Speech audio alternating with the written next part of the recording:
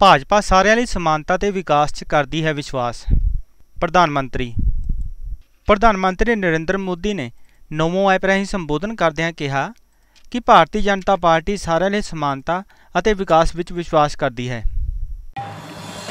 भारत में आज सामाजिक समरसता का संदेश लेकर जो राजनीतिक दल सबसे प्रखर तरीके से आगे बढ़ रहे हैं उसमें हम गर्व से कह सकते हैं भारतीय जनता पार्टी है और यही वजह है कि आज सबसे ज़्यादा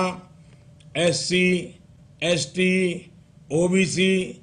इस वर्ग के लोग भाजपा से जुड़े हुए हैं। इस वर्ग से सबसे ज़्यादा मेंबर ऑफ़ पार्लियामेंट भाजपा के हैं। चाहे एसटी हो एससी हो ओबीसी हो या माइनॉरिटी हो भाजपा सभी को एक साथ आगे लेकर के बढ़ रही है। इस वर्ग का एम्पावरमेंट हो, हर क्षेत्र में ये सशक्त हो, इस दिशा में हमने निरंतर कार्य किया है। हमारा संकल्प रहा है,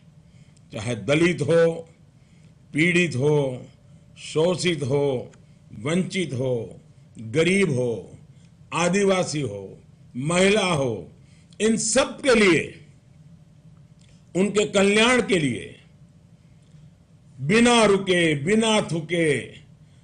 थके बिना उनके लिए काम करते रहना है।